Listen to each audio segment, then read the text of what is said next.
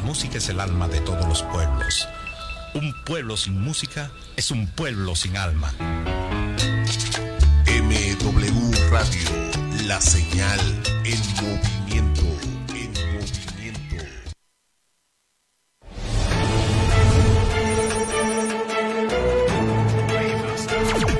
MW Radio, la señal en movimiento.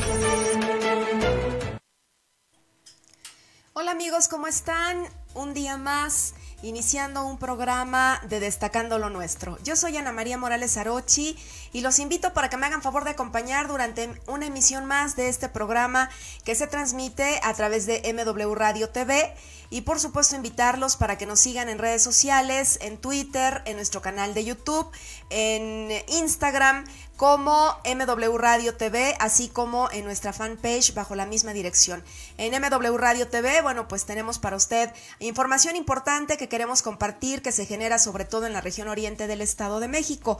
Y hoy, bueno, pues decirle que en el municipio de Tlalmanalco, eh, la preparatoria oficial número 102 en Tesopilo, esta preparatoria tan, tan famosa, pues está de fiesta porque está cumpliendo 25 años de su fundación. Y eh, bueno, pues eh, todo el personal directivo de esta escuela preparatoria organizó diversas actividades encaminadas a celebrar el 25 aniversario de esta institución que ha eh, realmente pues eh, sacado adelante a muchas generaciones de jóvenes que han salido eh, exitosos al culminar sus estudios de preparatoria ahí en Tesopilo en la preparatoria número 102. Dentro de las actividades que estuvieron realizando para festejar este 25 aniversario de esta institución, pues nos comentaron las autoridades educativas que organizaron conferencias, organizaron también talleres para todos los alumnos, presentación de algunos libros y el día de hoy eh, pues le quisieron dedicar el día para actividades deportivas organizando un paseo ciclista. Tuvimos la oportunidad de platicar con el profesor Eulogio Castillo Villegas, encargado de estos festejos, y le compartimos lo que eh, pues nos platicó esta mañana ahí en el municipio de Tlalmanalco por los festejos de esta preparatoria 102 de Tesopilo, ahí en Tlalmanalco. Hola, ¿qué tal amigos de MW Radio Televisión? Hoy nos encontramos en el municipio de Tlalmanalco, precisamente en el centro, en el jardín. Y bueno, nos encontramos aquí con la gran sorpresa de que vemos a muchos, eh, muchos jóvenes, al parecer que son de una secundaria, por supuesto, que ya están pues, listos para salir de, estas, de este municipio. Pero ¿quién más que nos puede explicar acerca de este acontecimiento? Buenos días. Eh, Buenos días. ¿Nos podría dar su nombre y su cargo, por Este, favor? soy profesor Eulogio Castillo Villegas, somos eh, de la preparatoria oficial número 102 de aquí de Tlalmanalco. Eh, estamos festejando el 25 aniversario de nuestra casa de estudios y decidimos hacerlo mediante alguna serie de eventos. El día de ayer tuvimos un evento académico eh, en la escuela, una serie de conferencias, de situaciones, de presentaciones de libro. El día de hoy es una mañana deportiva, iniciamos con un paseo ciclista, llegamos a la prepa y luego de ahí en un deportivo vamos a, a llevar a cabo todo lo que son los juegos deportivos. Y el día de mañana cerraremos con un este con un evento cultural y una serie de rifas en donde pretendemos juntar, estamos haciendo la invitación a exalumnos de todas las generaciones que han pasado por todas nuestras, este, por, por- por todas nuestras aulas, a modo de que este, pues esto sea pues, una fiesta, eh, una conmemoración, 25 años no es tan fácil, y bueno, aquí estamos, esa es la, la razón que nos tiene aquí ¿Cuántos van a par- participar y o cuántos han participado en estos festejos, eh, profesor? bueno, en este festejo es la primera vez que lo hacemos, es el- la primera vez que hacemos este tipo de festejo para nosotros. Es, eh, ahora sí que es una sorpresa. Sí hubo convocatoria, sí hubo gente que sí se, sí se animó a participar. Esperábamos un poquito más de gente, pero bueno, eh, con esto pues, siendo el inicio, creo que sí vale la pena, estamos bien. Eh, esperemos que sea el primero de muchos, esperemos que sea el primero de muchos de este tipo de eventos. ¿Cuál es el mensaje que usted le da a todas las personas que están en esta edad de, escolaridad? Ok, primero que nada, bueno, pues eh, el deporte, ¿no? La, el deporte, la amistad, la armonía, la unión entre, entre alumnos sin importar, ajá, sin importar este sin importar cuál sea su salón, si el turno, si el o sea, finalmente somos una institución. De hecho, estamos invitando, también hicimos la invitación a jóvenes de secundaria que quisieran incorporarse con nosotros, porque de alguna manera ellos el año que viene estarán buscando escuela preparatoria. Pues bueno, nosotros les abrimos la puerta, les, les estamos dando el mensaje de cuando quieran, nosotros lo recibimos. Muy amable. Ok, bueno, gracias. Pues ahí está la participación del profesor Eulogio Castillo Villegas, quien eh, pues muy amablemente nos compartió estas actividades que están llevando a cabo con la finalidad pues de festejar el 25 eh, aniversario de esta escuela preparatoria número 102 en el municipio de Tlalmanalco, la famosa preparatoria de Tesopilo. Importantes actividades sobre todo, amigo de MW Radio TV, porque mm, si algo es lo que necesitan las generaciones actuales es que se les inculque el amor por actividades que los alejen de los vicios y por supuesto del sedentarismo. Y qué mejor que practicar el deporte y qué mejor que esta actividad del ciclismo en donde la verdad hasta nos dio gusto ver a los chavos desde las 7 de la mañana prácticamente reunidos ahí en el, en el patio, en, el, en la explanada principal de Tlalmanalco y todos con un ánimo eh, pues eh, muy de buena voluntad eh, participaron ellos en esta actividad del ciclismo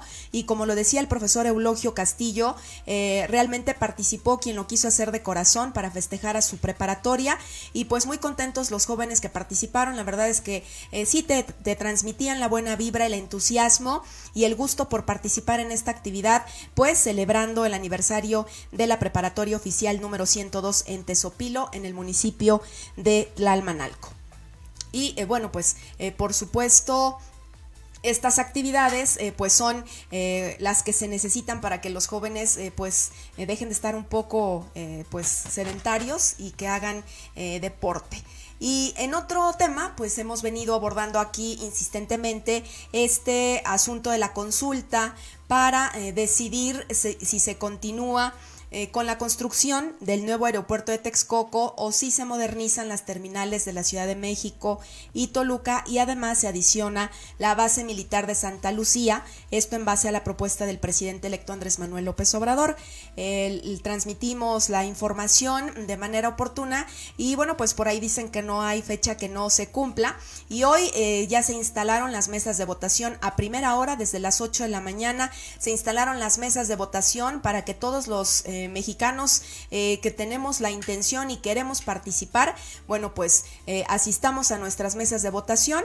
En el municipio de Tlalmanalco, mm, antes de las 8 de la mañana ya estaba instalada la casilla en donde, eh, bueno, pues cuatro personas que la verdad... Eh, estas mesas de votación de una manera muy modesta, eh, no tienen toda esta parafernalia, por ejemplo, como la tiene el INE de las urnas y en donde obviamente se ve eh, pues que hay dinero para gastarlo.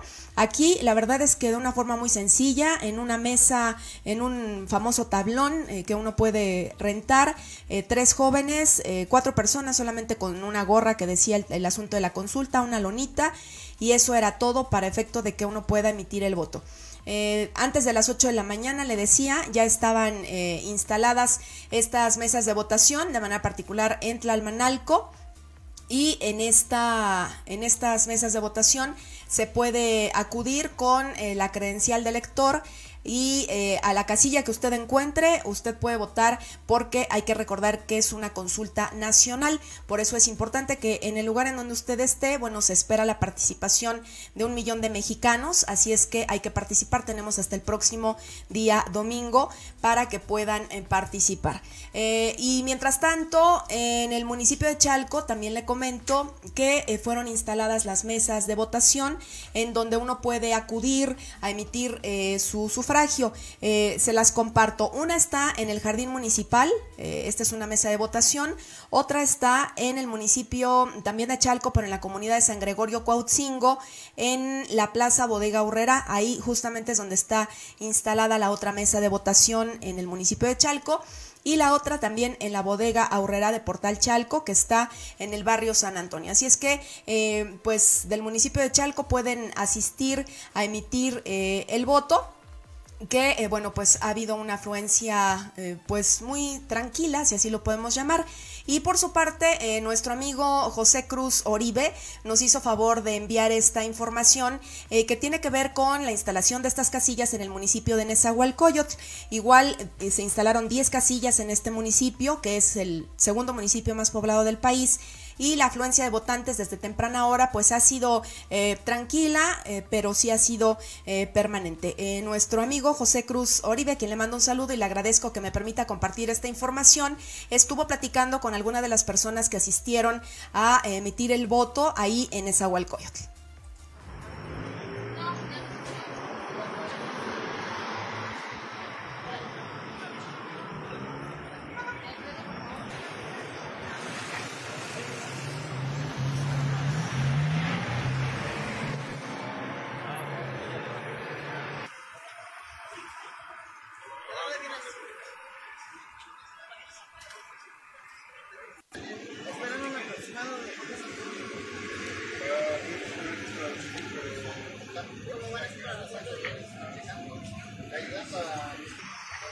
Esté desarrollando esta consulta.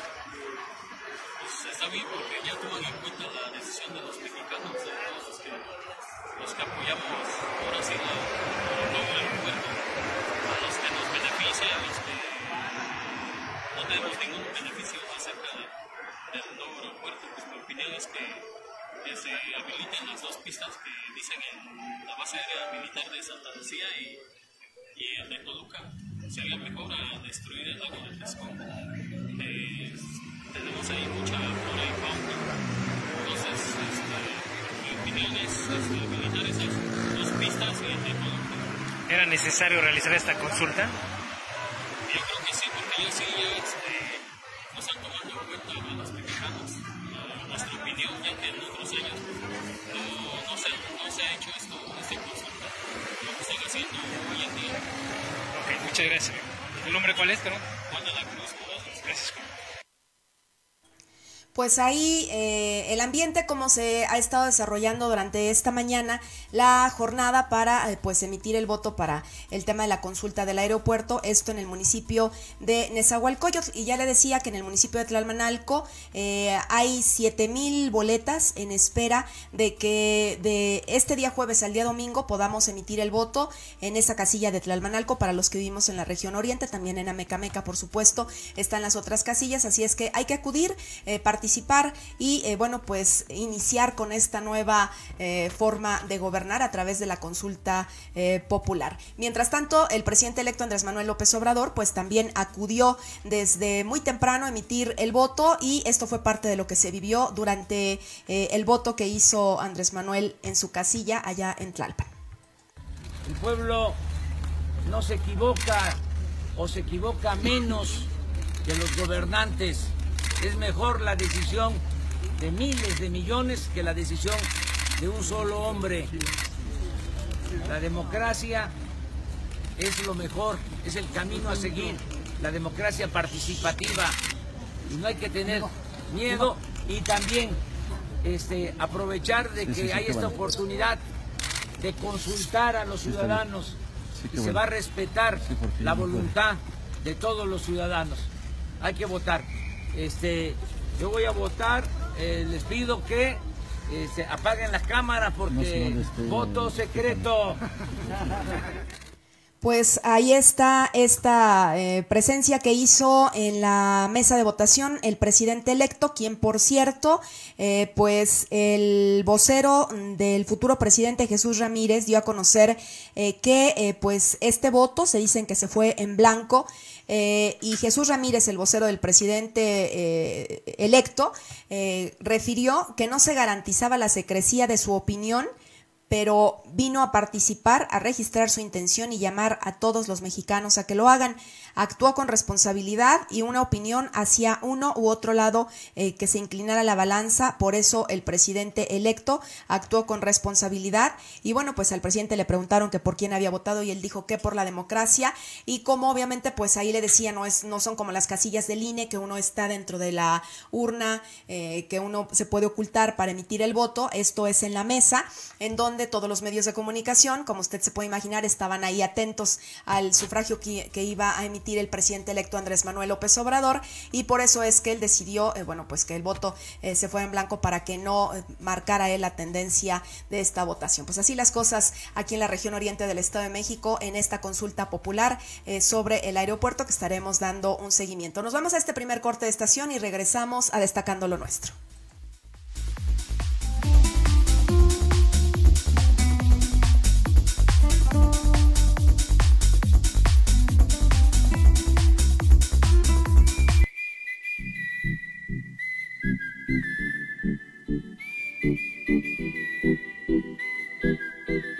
En la región oriente del Estado de México, la Fundación Rompiendo Murallas Libertad AC trabaja todos los días para combatir la marginación social. A través de distintas acciones como la donación de medicamento y la distribución de productos de la canasta básica, contribuyen a mejorar las condiciones de vida de comunidades indígenas y familias vulnerables. Para la Fundación, también es vital apoyar a familias de escasos recursos, cubriendo sus necesidades básicas de vestido. Por eso, a través de la entrega de ropa y calzado, pone su granito de arena para que niñas, niños y adultos mayores mejoren su condición. El tema de la diversión y el esparcimiento son aspectos que la Fundación considera esenciales para fortalecer el desarrollo humano, por lo que mediante eventos culturales, las familias chalquenses se reúnen en un ambiente de sano entretenimiento y convivencia social.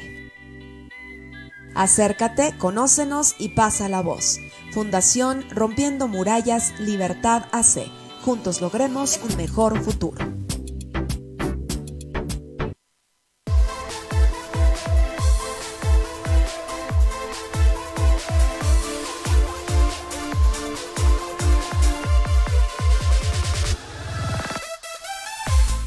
Pues ya regresando, destacando lo nuestro, un saludo para nuestros amigos que se están conectando a través eh, de esta señal. Eh, saludos a Juan Mora Sosa, que nos hace favor de estar viendo en Coacalco, muchas gracias. Y también saludos para Agustín Reyes Yoya, dice saludos desde Ixtapaluca, felicidades. Muchas gracias, Agustín. Pues aquí estamos y este es un espacio para todos, por supuesto, y el micrófono siempre estará abierto para alguna denuncia, para alguna eh, opinión importante como ciudadanos, que tenemos todo el derecho de vertirla ante un micrófono. Muchas gracias por estar en esta frecuencia. Y en el municipio de Chalco le quiero comentar que están desarrollando actividades importantes en materia de prevención de la violencia eh, de género, que así es llamada la violencia hacia la mujer.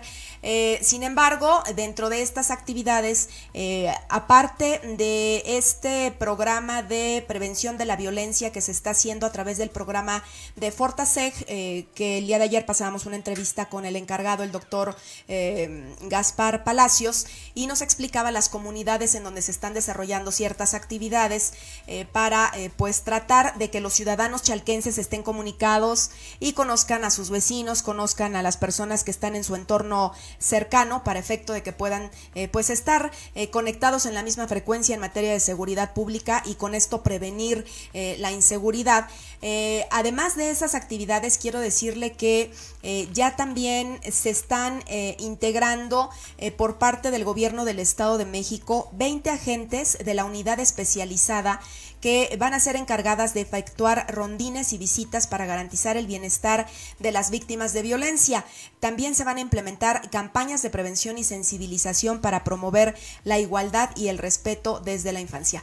Este asunto, la Policía de Género del Ayuntamiento de Chalco, eh, pues ya es algo que se ha venido trabajando, ya eh, tiene eh, pues unos días atrás que han venido organizando esto porque sí le han dado mucho pues a esto de la violencia hacia la mujer y ya se encarga esta policía de género de ejecutar, vigilar y dar seguimiento a las medidas de protección otorgadas por eh, a las mujeres que han sido víctimas de violencia de género y también pues se atienden eh, los llamados de auxilio de las chalquenses. Esto en coordinación también, por supuesto, con las autoridades del gobierno del Estado de México. Y como parte de los mecanismos para garantizar la protección institucional especializada en los municipios considerados dentro de la alerta de violencia de género contra las mujeres, pues ya Chalco cuenta con 20 agentes capacitadas, mujeres y hombres también, que están divididos en dos turnos y eh, bueno pues eh, realizan barridos de cuatro sectores georreferenciados en tareas de prevención, información y atención de casos de violencia. Esto eh, pues es un asunto que ha tenido que aterrizar esta estrategia de seguridad, el asunto también de los sectores para poder pues diseminar a estos agentes a la atención inmediata cuando las mujeres lo requieran. En Chalco, pues ya esta policía de género que está encargada, ya le decía, de atender de manera inmediata a las mujeres que puedan ser víctimas de violencia, ya sabemos que puede ser violencia física, verbal, psicológica, patrimonial, económica, eh, o sexual, pues ya tienen de alguna forma pues una protección más para que ellas puedan eh, solicitar eh, el apoyo. escuchemos parte de cómo se lleva a cabo precisamente este, este trabajo de la policía de género que está encargada de atender las llamadas que se hacen, por ejemplo, al 911, que también se puso en marcha para que las víctimas de violencia pudieran eh, pues eh, llamar a este número y solicitar apoyo cuando son violentadas lamentablemente pues por la persona que tienen cerca que son sus mismos esposos. Escuchemos esto.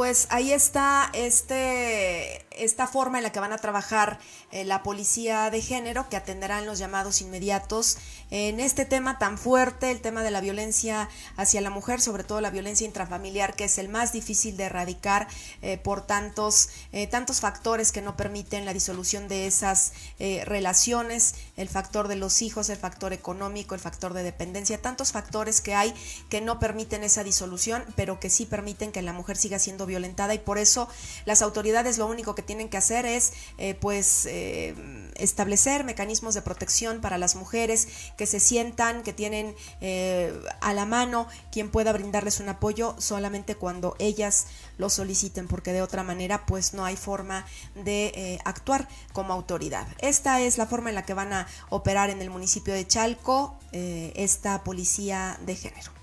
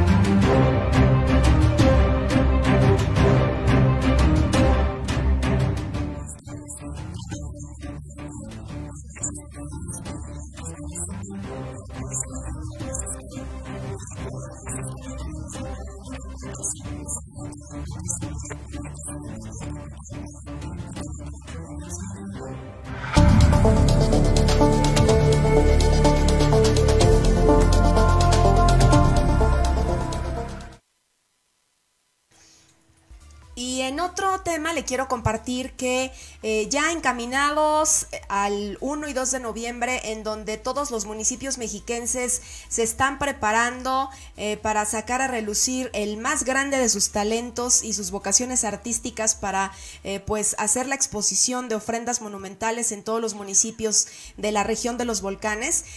quiero comentarle que en el municipio de Nezahualcóyotl, pues ya anunció el alcalde Juan Hugo de la Rosa García que por primera vez en la historia del municipio se va a montar un tapete de acerrín de tamaño monumental y la pinta de megacalaveras de gis. Una actividad que sin duda va a valer muchísimo la pena pues seguirla de manera cercana porque el talento de los jóvenes nesatlenses se va a dejar eh, pues asomar en esta festividad de muertos. También eh, se va a sumar esta actividad al acostumbrado festival. Gracias por recordarme que se realiza eh, pues todos los años en el Panteón Municipal de Nezahualcóyotl, en donde se exhiben ofrendas, se realizan danzas, concursos y otras actividades. Le decía que eh, pues el presidente Juan Hugo de la Rosa, pues él refiere, es una persona muy sensible, que pues esta fecha es una de las más importantes para los mexicanos, por eso es importante que todos los desatlenses participen y que la ciudad se llene de colores al reunirse con un crisol de expresiones culturales de diferentes estados de la República por ser el municipio de los más diversos del estado, eh, por lo que eh, pues esta exposición eh, va a ser pues muy colorida y sobre todo porque en ese municipio pues habitan personas de muchas partes de la República Mexicana. El primero de noviembre pues vamos a poder ser testigos de un tapete monumental de acerrín, el cual se va a instalar en el recién creado Paseo Cultural en Esahualcoyot, que está sobre Avenida Pantitlán entre Ángel de la Independencia y Hombres Ilustres. Es el paseo que está, el camellón principal, el que está ahí aún... Eh, en donde está el coyote. También el 2 de noviembre se va a realizar por primera vez un concurso de mega calaveras de GIS. Esto será en la explanada municipal. Eh, con el objetivo de que todos los ciudadanos, pues obviamente, ya le decía, pues saquen a relucir su talento, su creatividad, su talento y los mejores eh, trabajos, eh, por supuesto, también van a ser premiados con dinero en efectivo y con grandes sorpresas. la actividad que se hace cada año en el Panteón Municipal se va a hacer de forma normal.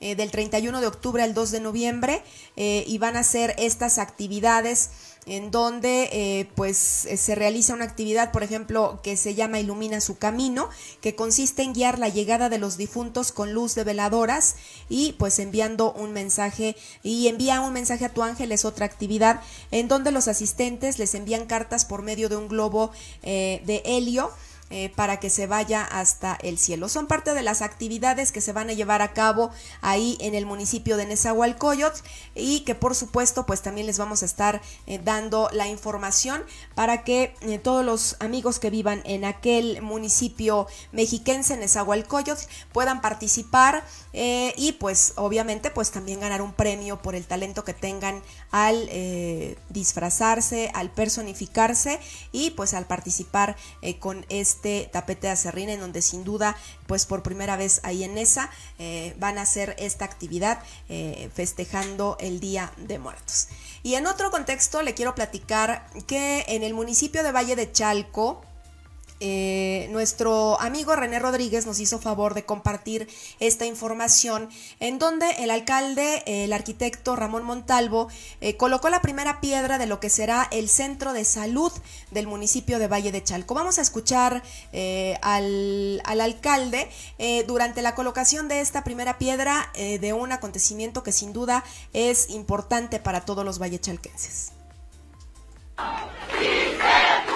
Y no quiero distraerles más, solo compartir con ustedes esta alegría y al igual todos y cada uno de nosotros estaremos al pendiente de estos trabajos para que logremos el cometido.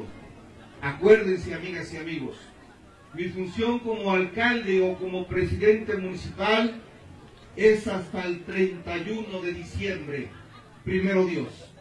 Pero seguro estoy que con la ayuda de ustedes, con el apoyo de todos mis amigos, la constructora, la supervisión, los mismos médicos, seguro estoy que lograremos este, este propósito. Amigas, amigos, Con esto culmino mi intervención y agradecería mucho me acompañaran a poner la primera piedra de lo que es nuestro centro de salud. Muchísimas gracias, amigas y amigos.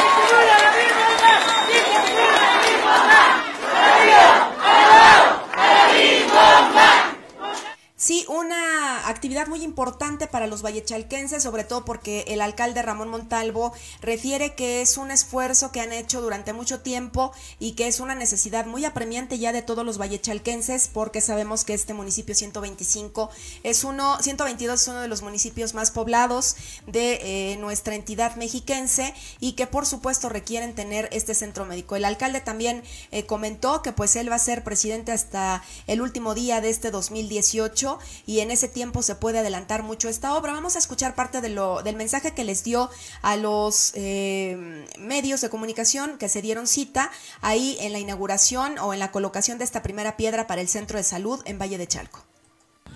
Días más eh, estuvimos este, siendo testigos de lo que fue el logro de la hacienda municipal. El día de hoy debo reconocer y agradecer públicamente la disposición del gobierno del estado. Agradecerle al señor gobernador que me haya permitido en este lugar que es propiedad del estado construir un centro de salud que hoy en día, ustedes lo saben, es una necesidad. El centro de salud desde, desde siempre desde hace ya varios años ha sido una solicitud que ha hecho la gente. En su momento, como candidato a la presidencia municipal, un tema demandado. Dijimos que íbamos a hacer todo lo posible e imposible de poderlo hacer realidad. Y el día de hoy, ustedes han sido testigos de la colocación de la primera piedra. La inversión es grande, 15 millones de pesos para construir este centro de salud. Un centro de salud que tiene historia de más de 30 años de servicio, ustedes lo pueden ver, el inmueble prácticamente está infuncional, pero bueno, corrimos con la disposición del gobierno y con el recurso que tenemos por parte del gobierno municipal, que es con lo que habremos de hacer y construir este hospital. A todos mis amigos y mis amigas de las cuatro colonias de Jico, de la colonia del Jardín, de la colonia Guadalupana, de la colonia Alfredo Baranda, a todos ellos les digo, hoy es una realidad y ese centro de salud, seguro estoy, que habrá de dar atención médica a todos y a todas. Enhorabuena por Valle de Chalco y yo como alcalde estoy muy contento de hacer y lograr otra obra más. ¿Qué capacidad tiene este centro de salud para atender a las personas? Este centro de salud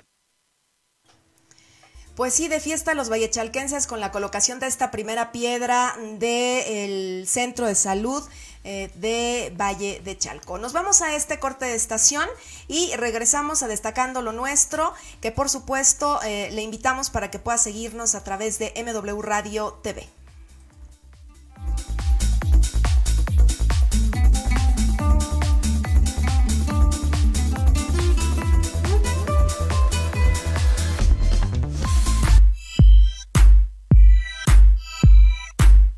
¿Eres carpintero de profesión?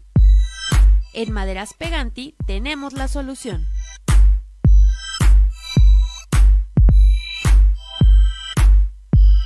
Contamos con un extenso surtido en maderas de calidad. Recuerda, somos fabricantes en diseños exclusivos en muebles de oficina y para tu hogar.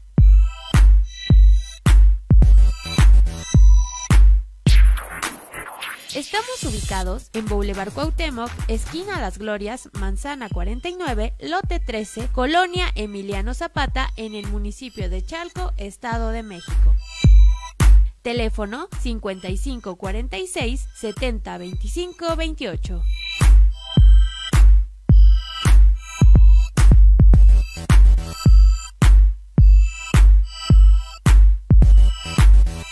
Precios especiales a muebleros y carpinteros.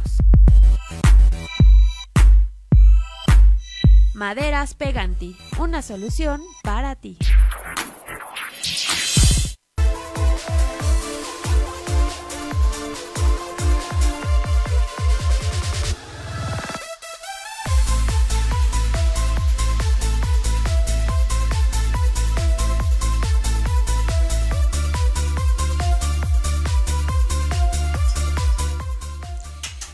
Pues como cada año en este mes de octubre ya estamos a nada, a unos días de hacer este famoso cambio de horario.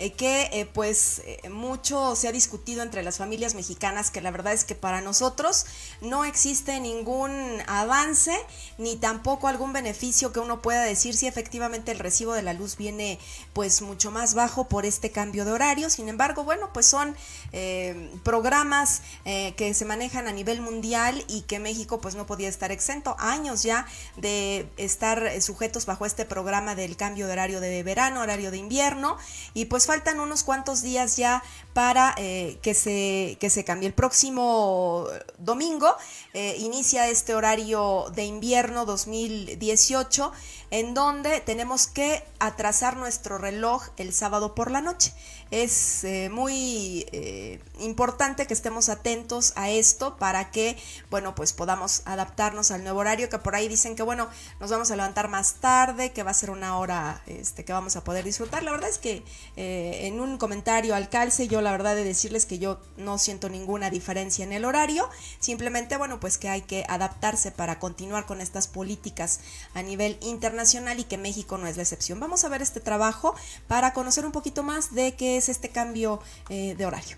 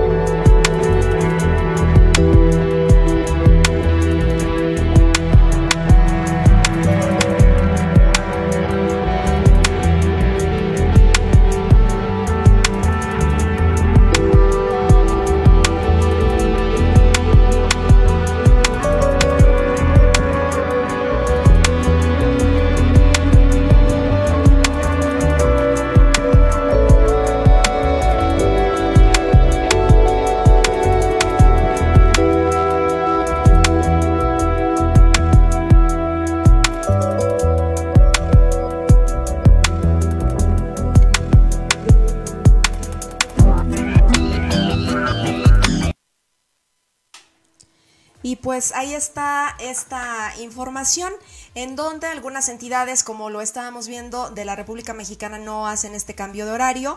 De forma particular, por ejemplo, en, Baja California, bueno, de forma especial en Tijuana, Mexicali, Ensenada, Playa Rosarito y Tecate, que son eh, municipios de Baja California.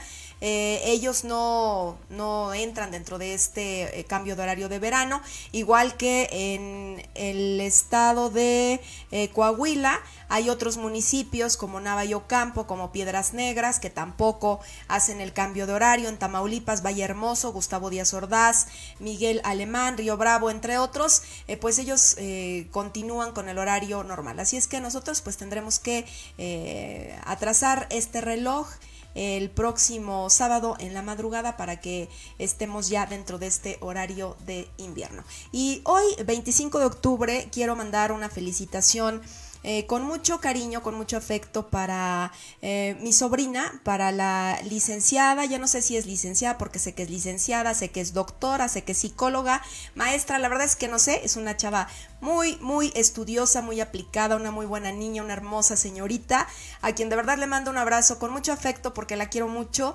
Y, y bueno, pues Dulce, que tengas una celebración muy bonita en compañía de tu hermosa familia, de parte de todo el equipo de MW Radio TV, te mandamos un abrazote con mucho cariño, que te la pases súper bien en este día en donde estás cumpliendo años y que Dios te siga bendiciendo. Te queremos mucho. Muchas felicidades, Dul. Y antes de irnos, eh, quiero decirle que ya, eh, como hemos venido comentando, están cerca las actividades de Día de Muertos aquí, eh, bueno, en el país en general, pero bueno, en la región de los volcanes, que es el asunto que vamos a darle seguimiento. Y hay un elemento que no puede faltar dentro de las ofrendas y que hace que sea específicamente el adorno que permite tener color en las ofrendas. Le hablo precisamente del papel picado. Este papel picado es una obra de arte que la verdad embellece el lugar en donde lo puedan colocar, si es en las ofrendas del Día de Muertos, si es en una festividad de algún poblado, si es al interior de una iglesia, si es eh, inclusive eh, un restaurante muy importante en la Ciudad de México, el principal adorno es el papel picado y la verdad es que se ve tan, tan hermoso. Es una obra de arte, pero sobre todo es un trabajo en donde, eh, bueno, pues eh, va de por medio también eh, las manos en su momento. Hoy, pues los procesos son distintos, pero este papel picado tiene su esencia y quiero platicarle que este papel picado proviene de la cultura china. obviamente por eso es hecho con este papel, el papel, el papel china, y fue trabajado en Europa desde el siglo XVI con el nombre de papel cortado. En sus inicios así es como eh, se dio origen a este papel picado. Este trabajo eh, a partir del siglo XIX se eh, incrustó dentro de nuestra cultura mexicana, pero ¿qué le parece si vemos juntos este trabajo para que podamos ver más de este papel picado?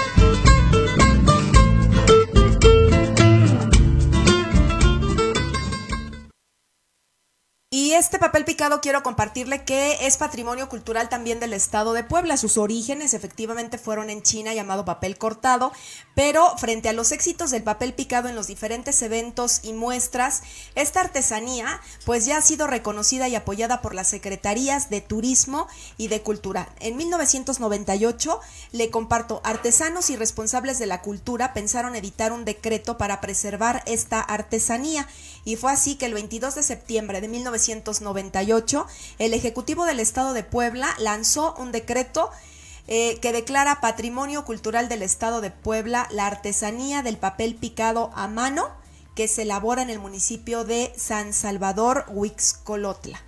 Este acontecimiento sin duda pues enorgullece a todos los poblanos porque uno es el papel que se hace con las máquinas en donde pues simplemente tienen que hacer eh, cortar este papel para poder hacer estos dibujos eh, en todas las hojas del papel china y otro es el, papel que se hace eh, pues en la mano de los artesanos. Por eso en Puebla de forma especial en este municipio San Salvador Huixcolotla es en donde pues elaboran este papel pero este sí es hecho a mano así es que ahí está este mm, dato en donde pues cada vez eh, que uno da una vuelta por el talento de los mexicanos pues nos hace sentir más orgullosos de vivir en este país. Ya nos vamos, muchas gracias por el favor de su atención. Gracias en producción a la doctora Ana María Rochi Rosales, a la licenciada Itzarindani Aguilar Toriz, pero sobre todo gracias a usted porque nos hace favor de escuchar y recordarle que nuestras líneas de, eh, de contacto a través de las redes sociales en Facebook, en Instagram, en Twitter, en nuestro canal de YouTube como MW Radio TV. Yo soy Ana María Morales Arochi y les deseo que tengan una excelente tarde.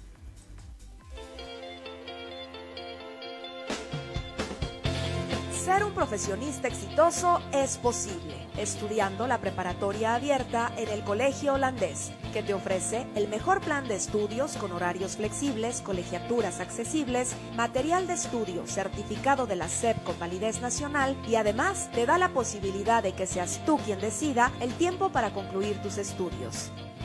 Esta es una excelente opción educativa, porque además de estudiar la preparatoria abierta, el Colegio Holandés tiene para ti las especialidades en mecánica automotriz, mecánica de motos, gastronomía y cursos de diseño floral, los cuales puedes estudiar bajo el esquema de clases 80% prácticas y solo 20% en teoría, en un excelente ambiente escolar. Nuestro plan de estudios te ofrece una formación integral que te permitirá incorporarte a un campo laboral asegurado, garantizando tu futuro como un profesionista exitoso. Acércate y conoce nuestras amplias instalaciones ubicadas en Avenida Cuauhtémoc número 56 en el centro de Ixtapaluca. Inscripciones abiertas. Colegio Holandés, Campus Ixtapaluca, formando profesionistas exitosos.